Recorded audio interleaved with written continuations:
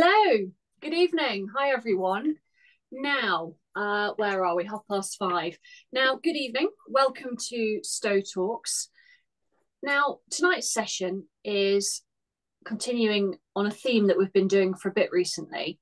Uh, tonight's session is how to recognize abuse in long term relationships. And it's a serious topic you know it's a serious topic. It's what you signed up to hear about. Um, we've covered domestic abuse several times on here before, and we will continue to do so. It's going to be a subject that we're always going to be talking about, I'm afraid. Um, but we're talking about uh, abusive relationships and and how to spot them. I suppose is is the main uh, theme here. As we all know, abusive relationships very rarely start out as obviously abusive. Um, behavior starts subtly and it builds over time. And we addressed that last month in um, last month's Stowe Talks, and you can get the recording um, of that um, if you'd like to listen to it. Now, we know what the effects of being an abusive, being in a, an abusive relationship are. Victims are frequently left isolated, uh, trapped, confused, um, today, we're going to be talking about um, what is domestic abuse.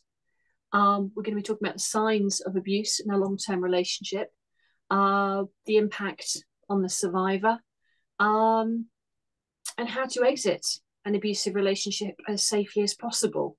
And the best bit, uh, life after abuse.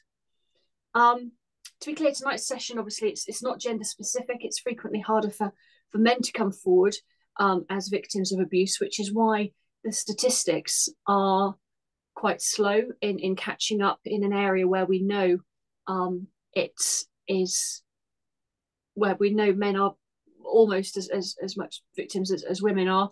Um, if we ever refer to an abuser on these webinars as a as a him, this is not intentional. We do know that men are victims um, of abuse and that uh, it's on the increase, I'm afraid. Uh, just for reassurance, the, the law is, is, is also gender neutral uh, in this area. Now, um, tonight, I'm really pleased to welcome back Caron Kipping. Now, um, Caron is one of my favourite guests on Stowe Talks. Caron is um, an experienced divorce and separation coach. Um, but she's very unique because of her background story. She's unique because of the length of time that she's spent working in the domestic abuse sector. Now, she's been through abuse herself. Um, she's had a very difficult divorce, and she now spends her time sharing her knowledge and also helping others.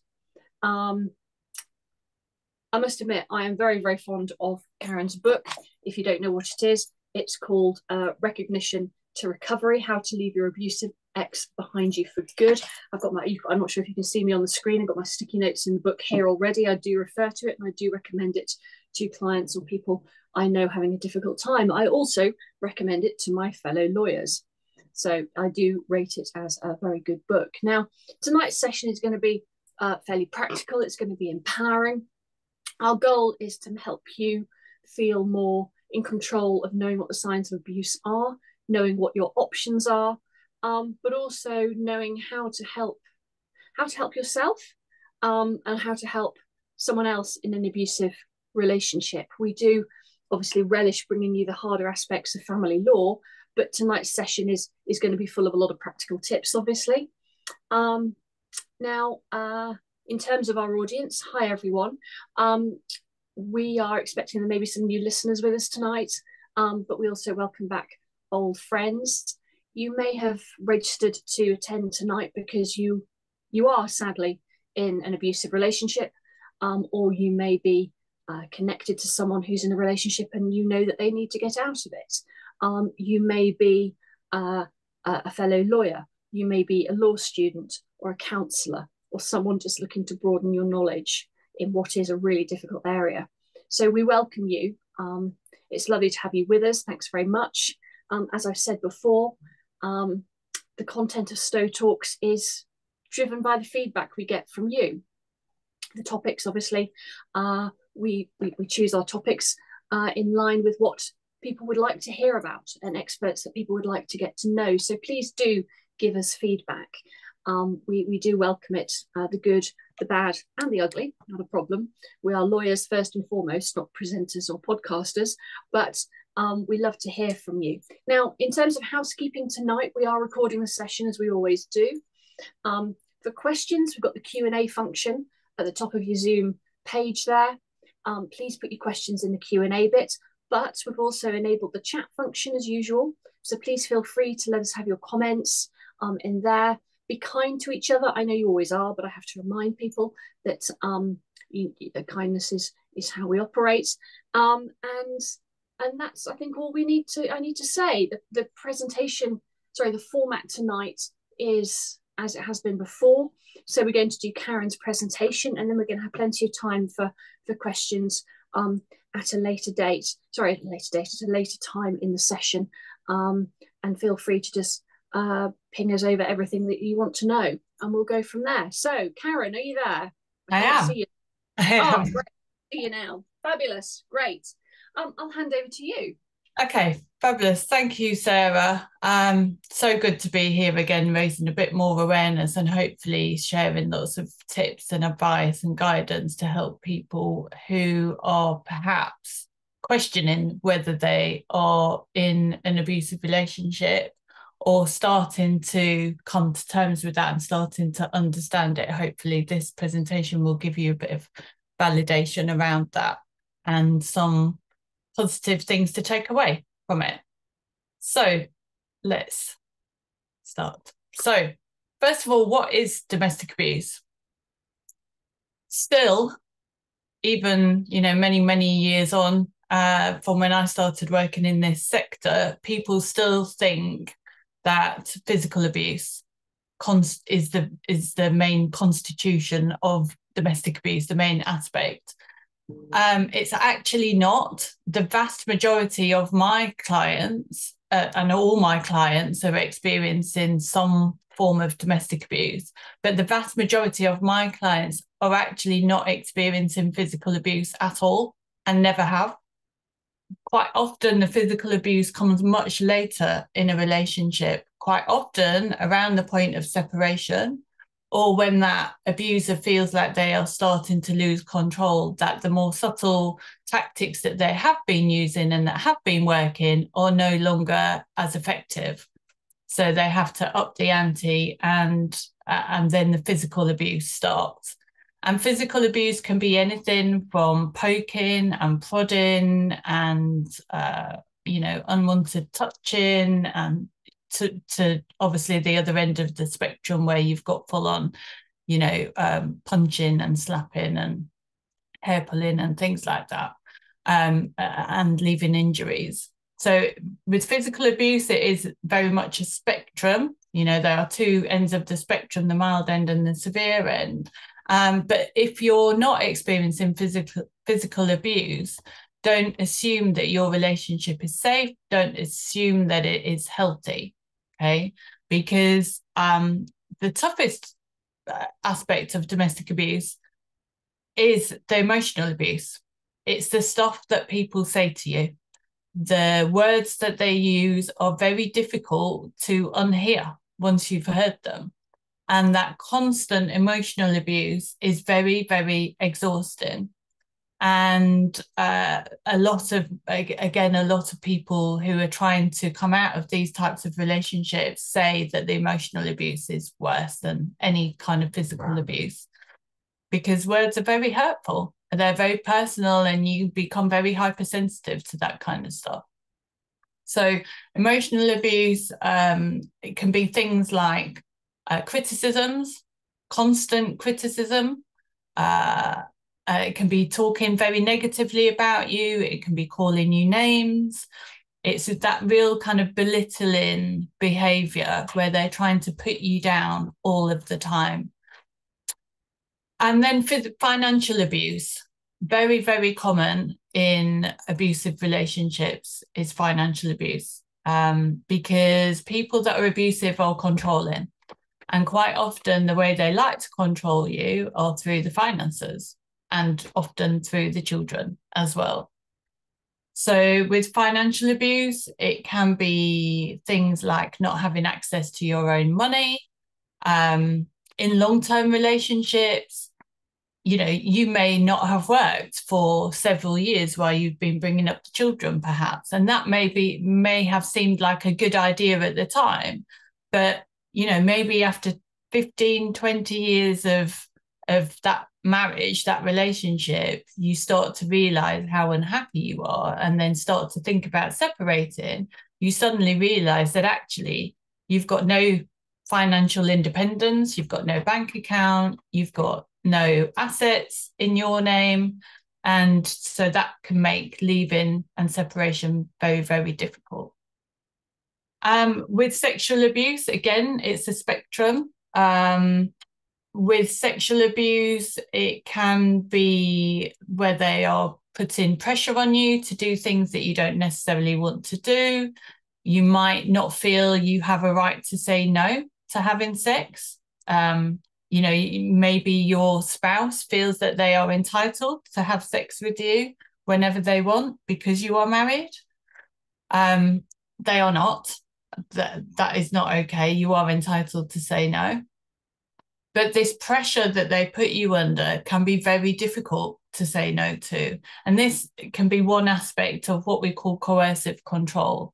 And coercive control is the subtle tactics that creep in over time, the things that do make you feel dependent on the other person, that make you feel like you don't have a right to an opinion, that make you feel like you have no support system and that you can't leave. And coercive control is very, very powerful. So when people say, well, you should just leave, it's not that easy. So we have spoken in previous webinars about the warning, early warning signs of abuse in a relationship when you're in the early days, in the honeymoon period, etc. But actually, spotting signs of abuse when you're already connected to that person and you've been in that relationship for a long time can be very difficult. I have a lot of people that come to me, men and women, who really struggle to recognize abusive behavior when they've been in a relationship for a long time. They will come and say, you know, am I being a bit oversensitive? You know, maybe they're just a bit selfish. Maybe we just have different ways of parenting. Maybe we just have grown apart. But actually, when we start to drill down to some of the behaviors, it's very obvious that actually there has been coercive control throughout the relationship. They just haven't spotted it. It's very difficult to see when you're in it. And quite often it's at the time of separation or afterwards when you've got a bit more headspace from your ex or soon to be ex that you are able to reflect a bit on your relationship and look back and go, oh, yeah, I remember back in the early days, they used to do this, they used to do that. And sometimes after separation, the abusive behavior becomes much more evident. So I had a lady today, for example, who contacted me for the first time, and she's been separated for a year from her husband of 20 years. And she's only just starting to recognize that it's actually been a very coercive and controlling marriage throughout, but she just didn't see it. And um, one of the ways that you might start to recognize abuse in your relationship is when you perhaps have been in that relationship for many years and suddenly you start to realize that you've lost all your friendships. You maybe have lost friends and maybe not been allowed to speak or see your family as much as you perhaps would have wanted to I know clients that have not been able to spend time with their family at Christmas, for example, for many years. And sometimes you start to reflect and you start to realize that actually you have become incredibly isolated. Your world has become much smaller over the years. You know, perhaps at the beginning of the relationship, you did have lots of friends, you were very sociable, you used to go out to work. Um, you know, then the dynamics change. You perhaps had children, You maybe then didn't work so much, maybe didn't have to work. And that can seem like quite a good idea at the time. But maybe it was actually financially abusive. Maybe the intention of your spouse was to isolate you, to keep you at home, to stop you from being around other people, to stop you from having access to your own money and maybe you're you're becoming really tired and exhausted and worn down from years of constant criticism and belittling and being put down. You can perhaps start to think well i can't do anything right. I can never do anything right. And that can really kind of grate on you after a while. But you know you might just dismiss it a little bit in the early days. You might just think oh well you know it's fine i can manage it i can put up with it. But actually after years and years it can really really drag you down. And actually some of the abuse can feel very normal when it has become a pattern of behavior over years and years it can become very normal. And i have clients that tell me some quite horrendous behaviors quite frankly but they talk about it quite matter of fact because it's just part of their day to day life living with this person. And what you might also start to recognize after many years of being in a relationship is that you are on this constant hamster wheel, this cycle of abuse where things are okay for a while, but then something will trigger an incident something may start to get your partner partner wound up, uh, angry, frustrated about, you know, it could be anything. It could be something that you've done. It could be something that you haven't done. It could be any excuse that they can come up with, really, to have a go at you. But then there'll be a big explosion, big falling out, perhaps a big argument. They might sulk or they might apologize, and then things might be better for a little bit. They might promise to go to marriage counselling, to get therapy, etc., etc. And it's okay for a while. But then, of course, gradually that abusive behavior creeps in again, and you're back on that hamster wheel going round and round again. And again, you know, that is very, very exhausting after years and years. And you might also notice abusive behavior a bit more when there is a change in the fam- family dynamics. So perhaps your children are, are growing up, they're becoming more independent, they're not needing you as much, they've got their own little lives, they might be leaving home. And suddenly you're in the home with your partner um, a lot more. And then you start to really see their behavior for what it is, and it can become very tense and you know you can suddenly feel very alone. Maybe the children have been the buffer for his behavior. Maybe you've managed to focus on the children and not really had enough time to really look at your own needs. But suddenly you know when the children have gone you suddenly start to think about that and what life is going to be like for the next few years. So that that can be a few of the ways that you might start to to realize that things aren't okay So, how does it impact on you? Uh, you might feel like you are walking on eggshells. This term walking on eggshells means when you are constantly anxious, you're constantly worried, fearful about your partner's reaction to things. You're constantly worried about getting things wrong, getting into trouble, getting told off and it really impacts on your mental health um, especially when you've put up with that for many many years. You you may think that you are coping but underneath it all you may not be coping very well. So you may suffer a lot with anxiety with panic attacks with not sleeping with feeling exhausted. Uh, you may feel depressed so, you know, you might feel like you just wanted to stop. You might even feel suicidal at some points, like you just can't take it anymore. And it, it, really impacts on your physical health too. So you might have headaches. You might have hair loss from stress.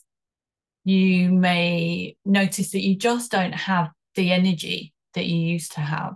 And a lot of people suffer with um, chronic joint pain as well. And that's a, a very common uh, physical health symptom. Things like ME, chronic fatigue, they are all exacerbated by long term stress. So it's really important that you do go and see your GP and get checked out in terms of your mental health and your physical health. I have lots of clients that are taking homeopathic remedies for anxiety and for sleeping and who are on antidepressants or anti-anxiety tablets there is really no shame in taking any of those kind of remedies.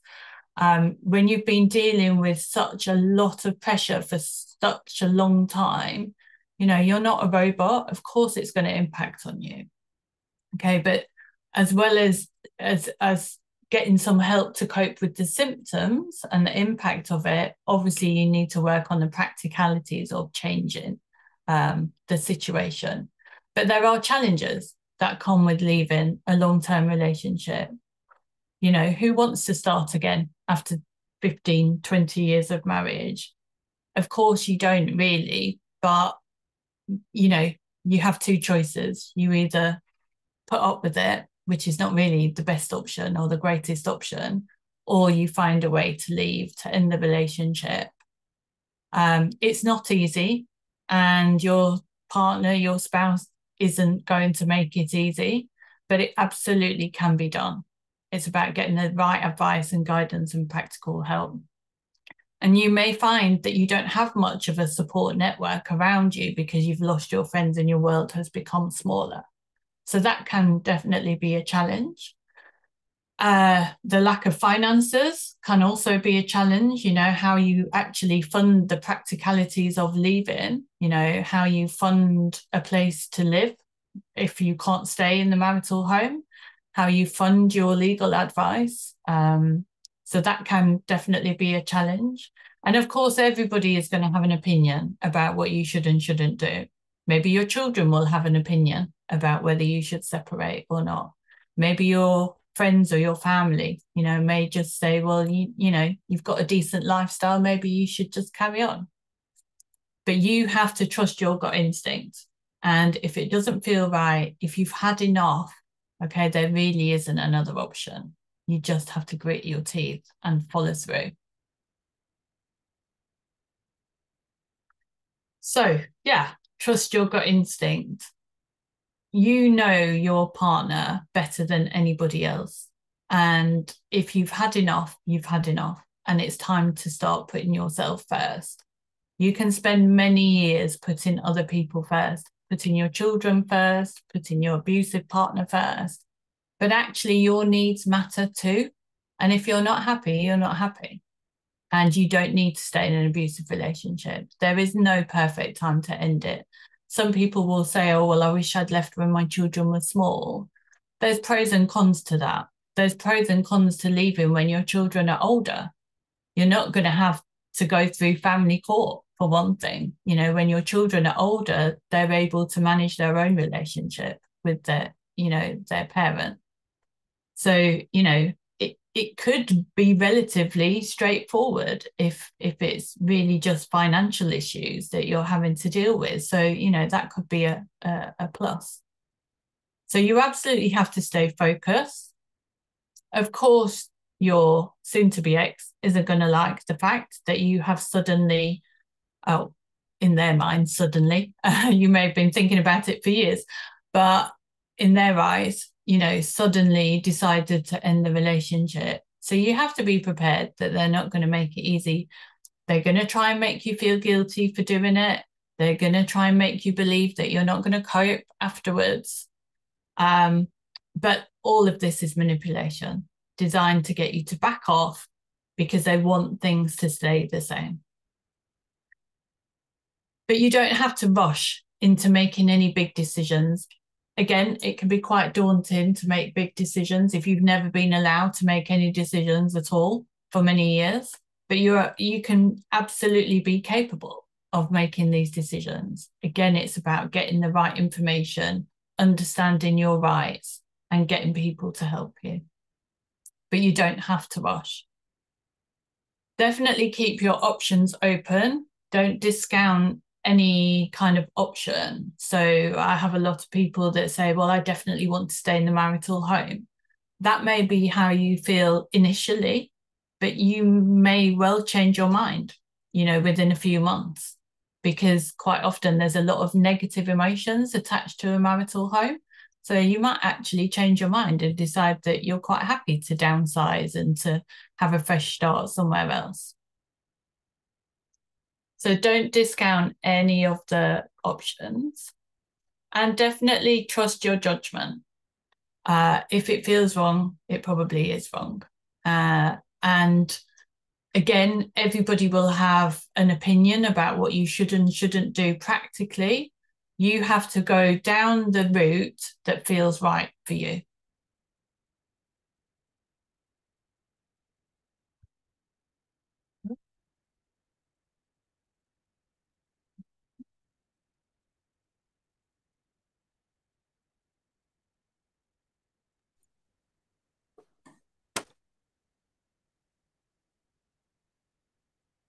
Oh, there we are. Sorry, it just froze for a minute. Mm-hmm. So, how to leave an abusive relationship safely? Definitely try to plan, get your ducks in a row, get all your information together, know exactly what your next step is before you have the conversation, before you push the button on the divorce, on the separation. So, understand your rights and options, get all that professional advice, and build try to start building up your support team start reaching out to people reconnecting perhaps with friends that you've lost touch with with family members or making new friends or new connections so that you feel you've got a real team of people around you. And that may be a team of professionals so it might be a solicitor it might be somebody like a divorce coach might be a financial advisor. There can be all sorts of people that can help you and definitely start being honest with other people. You've protected this person for a long time, and that's how they've got away with this behavior. Sometimes you have to be honest about their behavior, stop covering up for them, but you have to keep safe always. So, definitely while you're still living under the same roof, you have to be very mindful of your safety. So, you may have to act normal for a while. You may have to just walk away from them to make sure that the situation doesn't escalate. Um, and yeah, you may have to just try to manage things carefully at each stage. Okay. At some point, you may decide that you have to move out because it's just too tough living under the same roof whilst the separation is taking place. But, you know, take it one step at a time safety always has to come first, even if they've never been physically abusive before. So, what support is available? There's a really brilliant web website called The Rights of Women that I direct people to a lot. Um, a lot of the information is written up by trainee barristers. It's very easy to read. It's very, uh, you know, there, are lots of guides there, and they have some helplines as well. Um, so that can be a useful starting point.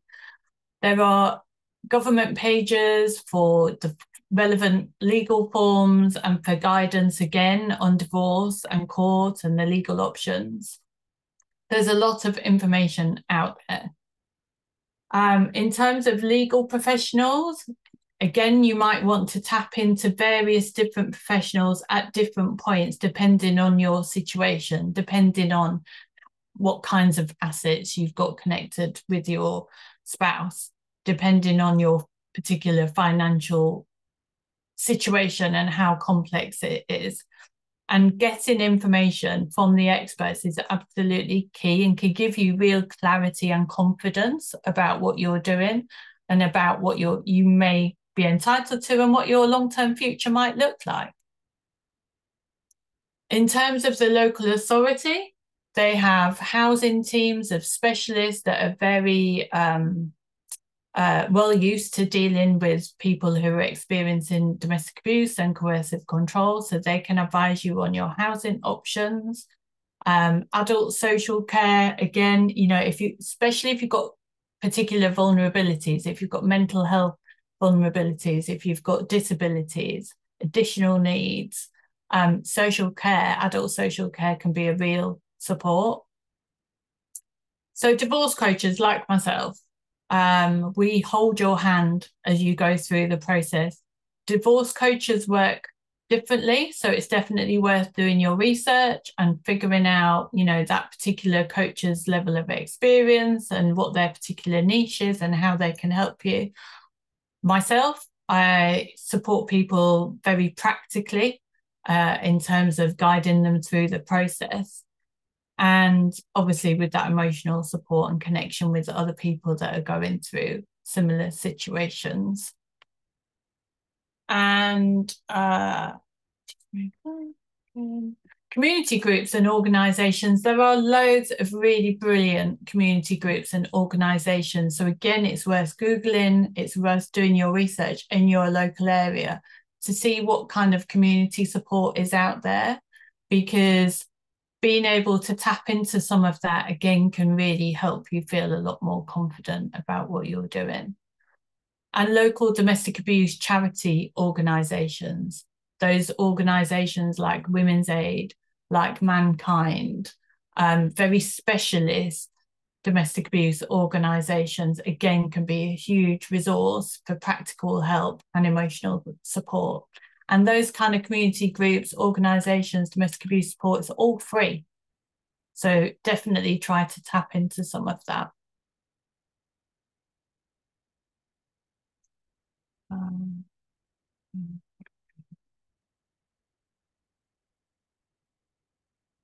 Right. So building a new life after a long term abusive relationship, it does take time. Uh, you know, it's you're not going to come out of a relationship where you've been in that for 20 years and suddenly have a new lease of life. It does take time to rebuild. It takes time to shift those patterns, those thinking patterns, to change those habits. But you can absolutely embrace your new life. Um, I've got a lot of clients who have suddenly started doing all of the things that they've never been allowed to do for many years. And that's really empowering and freeing and just gives them a new energy. Um, and sometimes it's just the small things. Um, you know, peace is priceless, absolutely.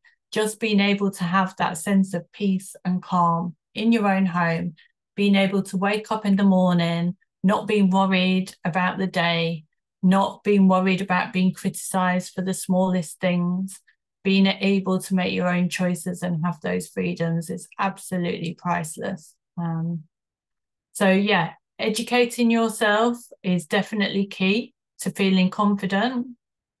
Also, keep in mind that this process, this legal process that you're going to have to go through in terms of separation, it does come to an end.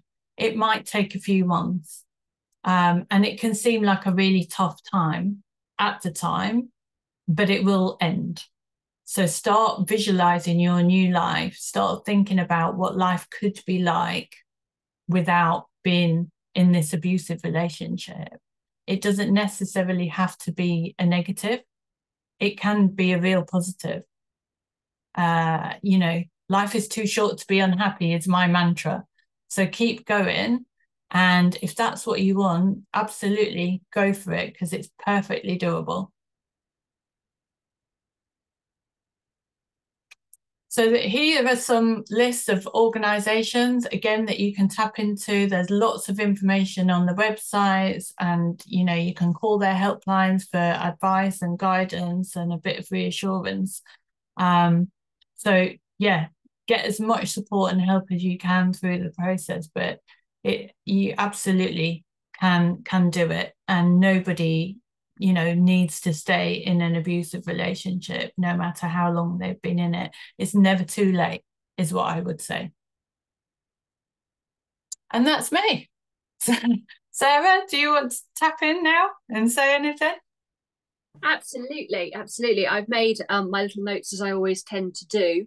Um, again, obviously, the biggest reminder here is, as you as you said, uh, safety has to come first. That's my obviously my biggest takeaway. Um, that should be everyone's biggest takeaway. My favorite website. Um, we share the same favorite website. I think the Rights of Women website is really well done, isn't it? It's really clever. Um, it was a long time overdue. I don't think it's been around that long. I'm not sure. Um, uh, I think it has been around quite a long time, but they've just recently updated it actually. Um, but it's yeah, it's brilliant. It's got information about finances, about family stuff, about divorce, about if you're not married, you know, in relevant sections, really easy to read for people that don't understand the legal process because it can be very confusing. So that's why I like it.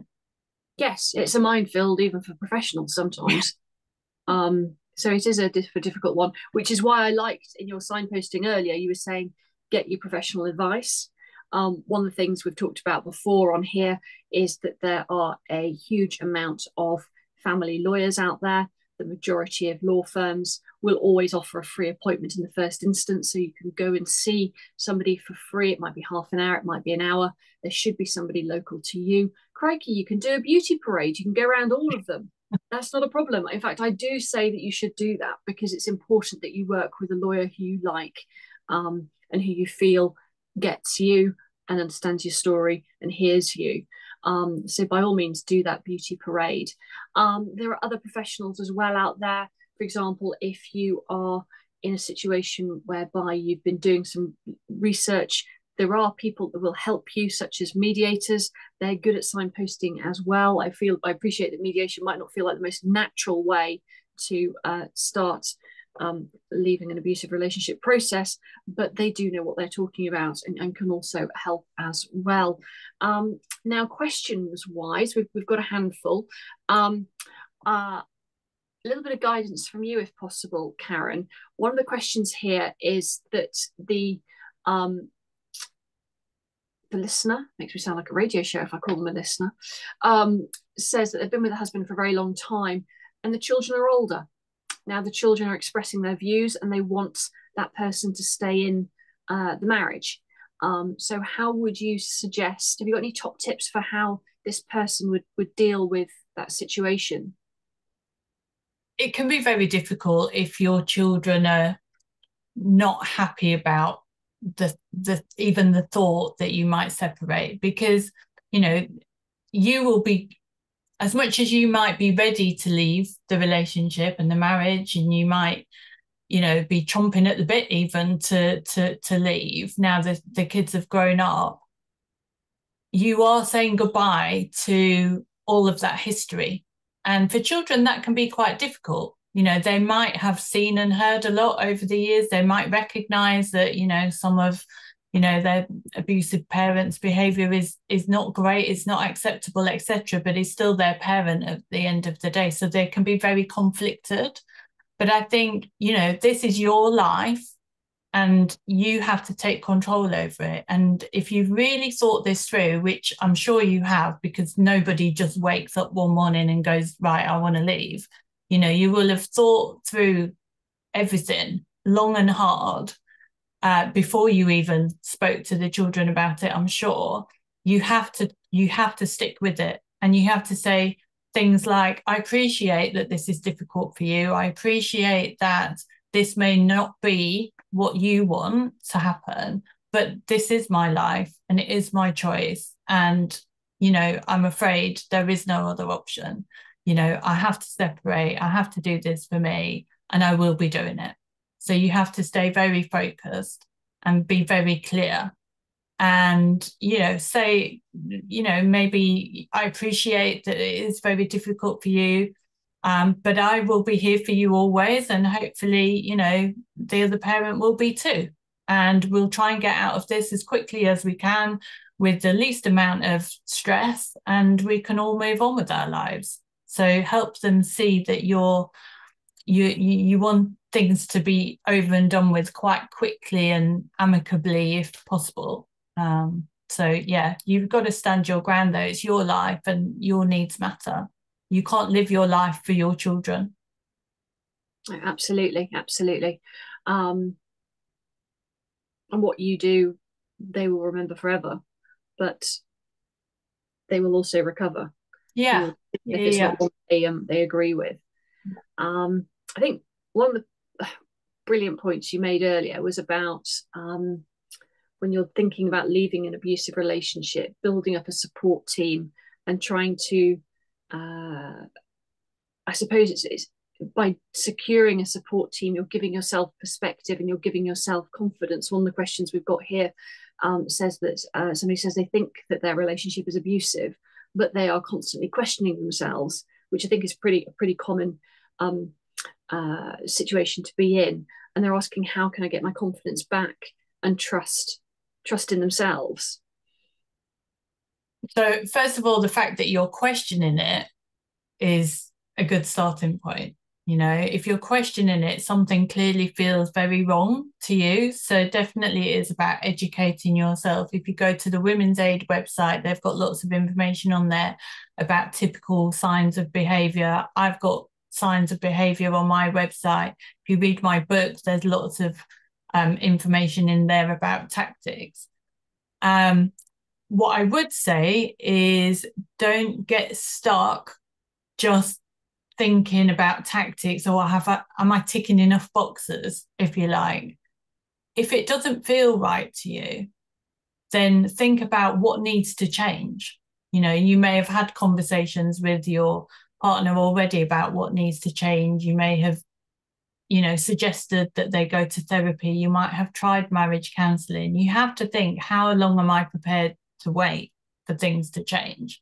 The reality is, is if you were in a relationship with somebody that is abusive, that is controlling, that behavior is not going to change. It's never going to change. It doesn't matter how much therapy they get, it doesn't matter how many sessions of marriage counseling you go to, it won't change. So the only way to change your situation is to start taking responsibility for your own happiness and to make those changes. Okay. I'm um I'm thinking we should probably do another session on this next month, maybe if you're free. We've got a lot to talk about still. um, I do have a, a couple of questions uh, well, I'd like to deal with one which is slightly more on the legal side of things, Caron, but I think you can shed some light on it with me because um, I think partly the media is to blame about this, but I've got somebody asking what kind of evidence a victim of abuse needs to prove coercive control at court. Well, frequently we've found that when people are talking about coercive control um, and being a victim of abuse, we were looking at two different sort of scenarios. We're in a a criminal court whereby someone's being prosecuted because it is now a criminal offence under the Domestic Abuse Act.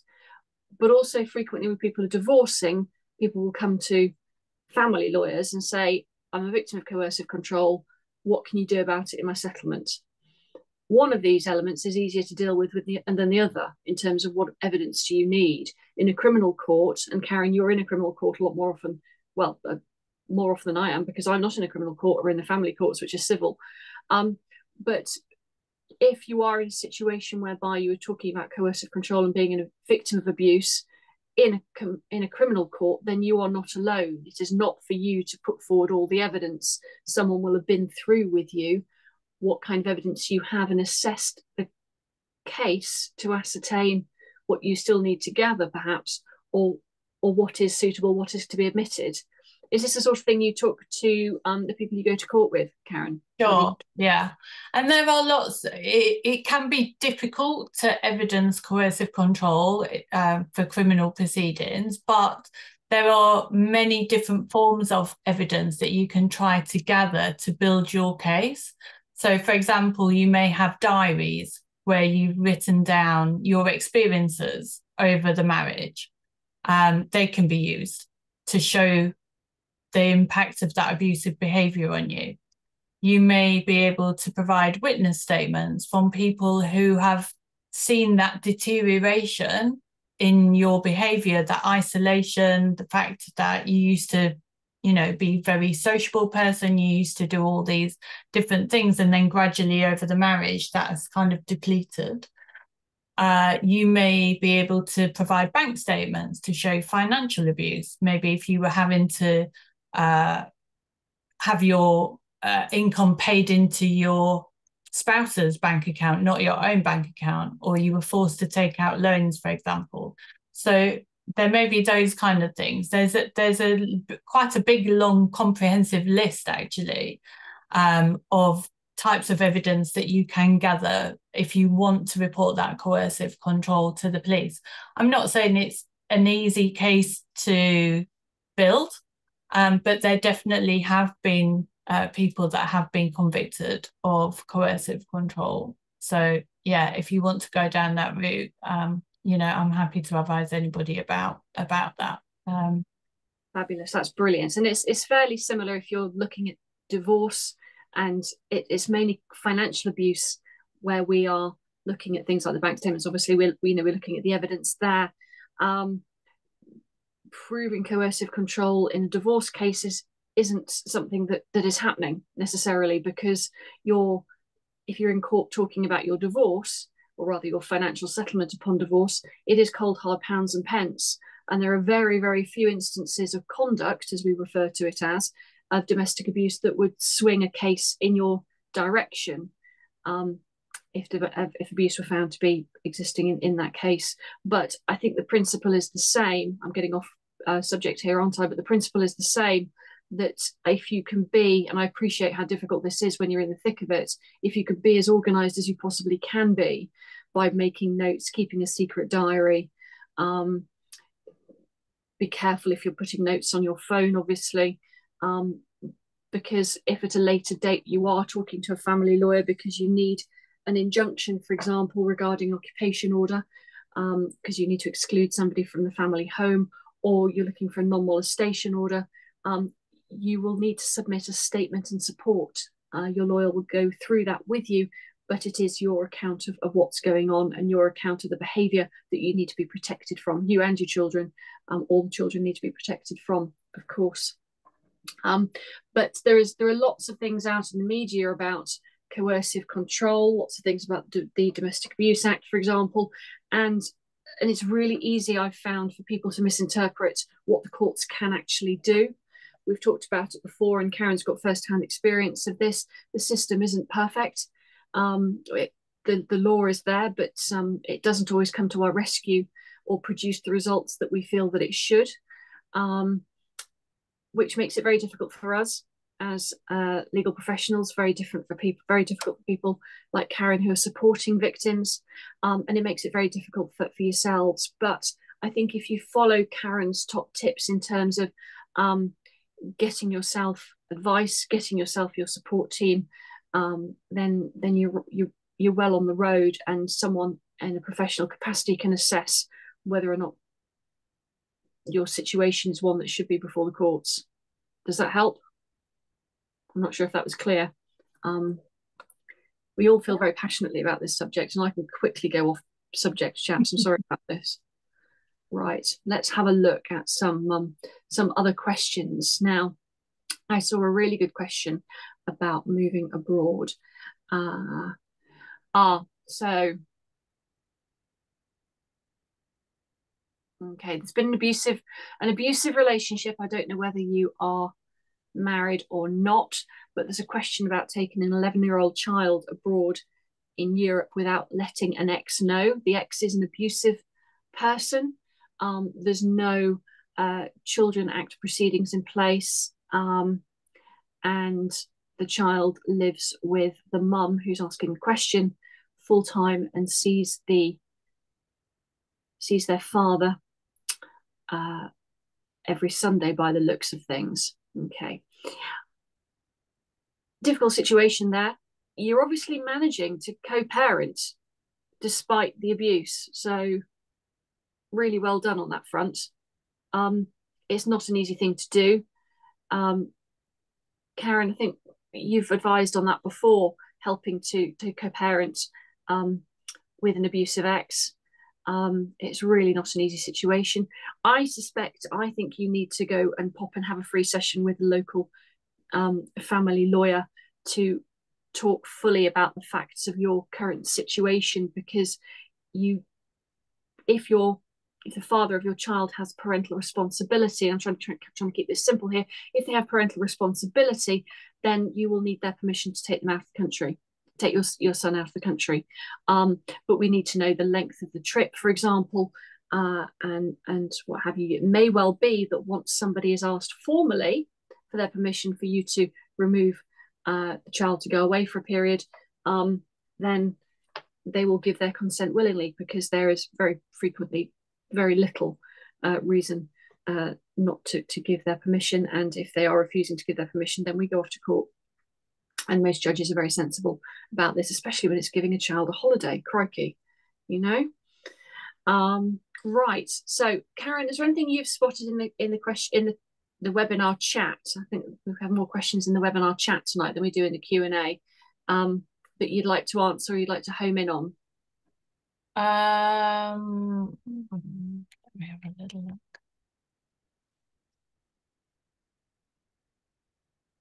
loving the comment about there being too many um, male judges. That is evening up.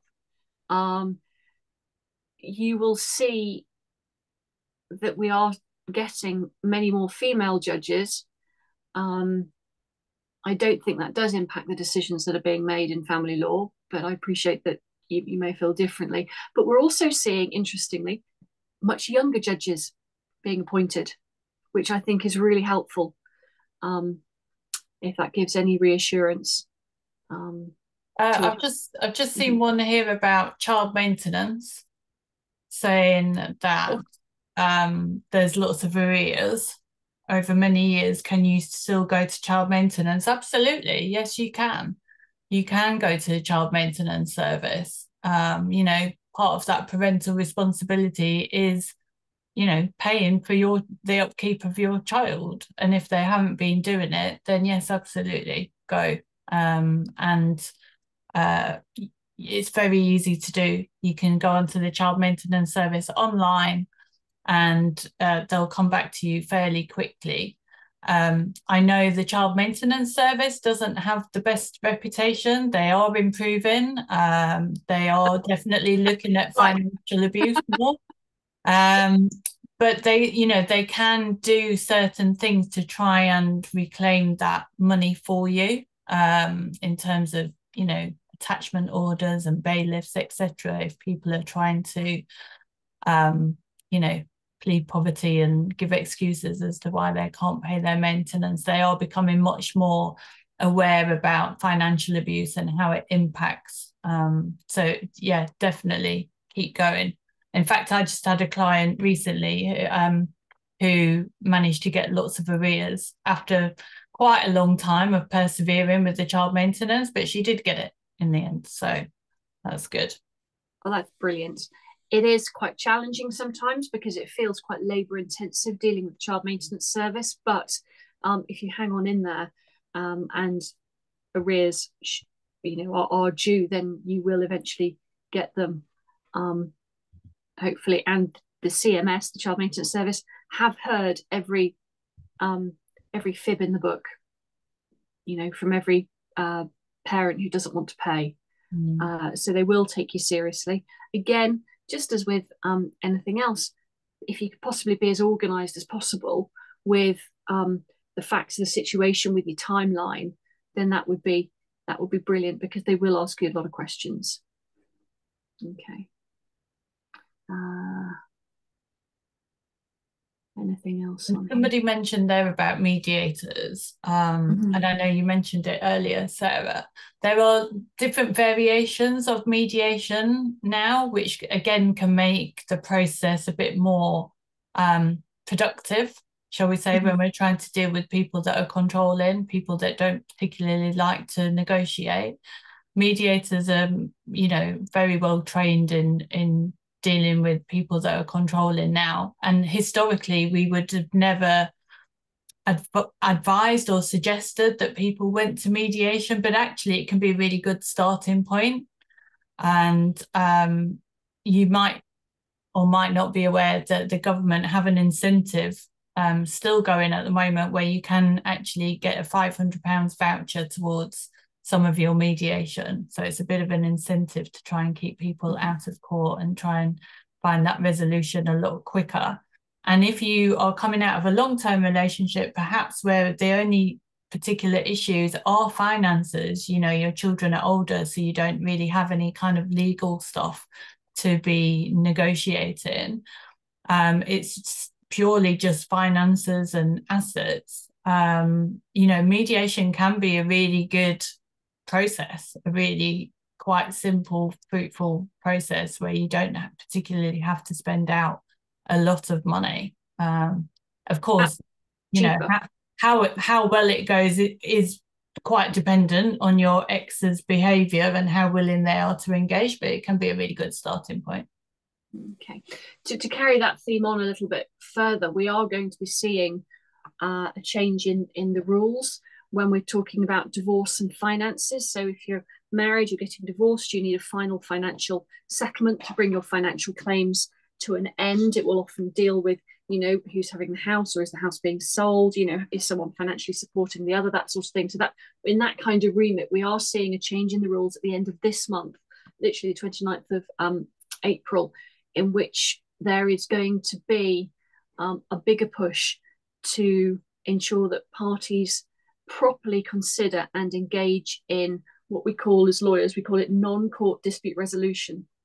This means, in practical terms, that rather than just say you thought about mediation but you don't fancy it, um, if you are the party who says that you know this is a case where we can be doing mediation because we want to keep the costs down, we want to keep the level of um, uh, discontent down, for example, you have the opportunity to threaten what we call threatened costs.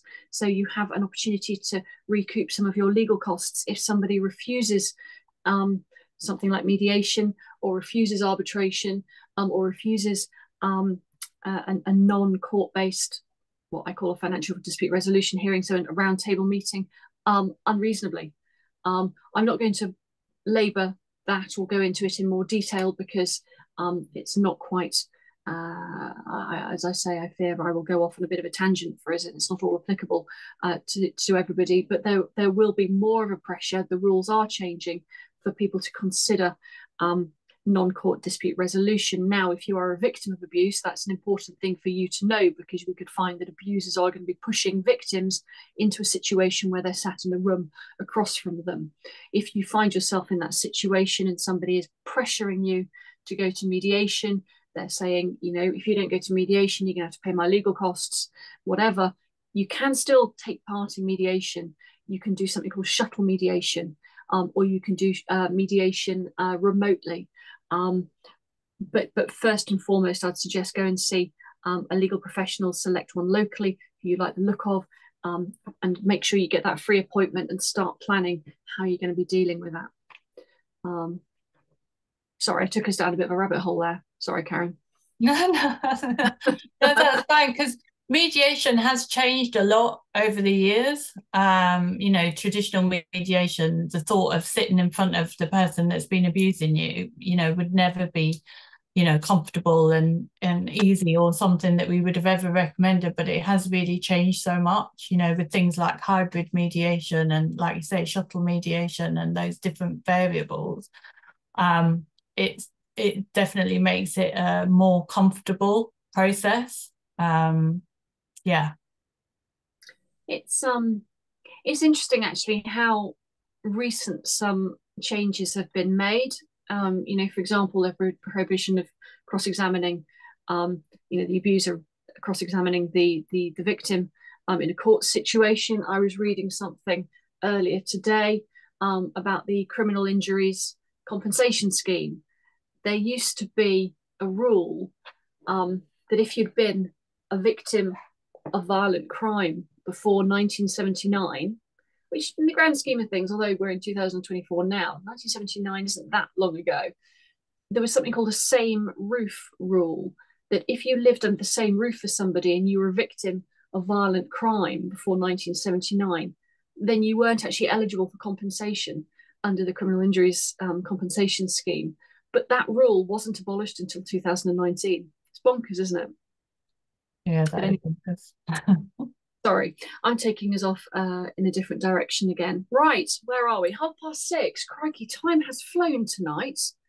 Um, it's a really difficult subject. Um, these sessions are really important. All of us involved uh, really I, I say enjoy doing them.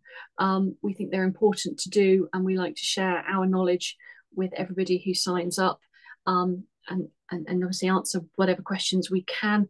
I appreciate that in this forum, it's not always easy to go down uh, in depth with answering people's questions, but hopefully we've done our role tonight in terms of informing you, um, sharing our knowledge. Caron is awesome. She knows I think she's awesome. Um, her signposting is brilliant. Um, I like the book, obviously, as I said before. I've got my post-it notes all over my book. Um, and I really kind of recommend that if you do need somebody uh, like Caron, that you reach out um, sooner rather than later. I love the bit that she talks about gut feel. Trust your gut. If something's not right, it's not right, really. So we're going to be doing Stowe Talks again uh, in probably about four weeks' time, I believe. But uh, details will be coming out on email uh, in due course. Um, as I say, we love feedback. Let us know what you think. Um, we really appreciate you giving up your Wednesday evenings uh, to, to share with us um, and, and to engage and obviously ask questions. If there's anything that we've missed or we haven't got to, then let us know. Um, contact, Caron's contact details are available, um, as are ours at Stowe's. Um, and I think that's that's all for tonight. So, um, Caron, huge thanks from us as always for giving up your time and sharing your knowledge with us. Okay. Thank you for having me. Thank You're you. welcome. Right. Have a lovely evening, everyone, and we'll Take see care, you. everybody. Take care. Stay safe. I sound yeah. like Jerry Springer. Look after each other. There you go. Good evening. Bye bye.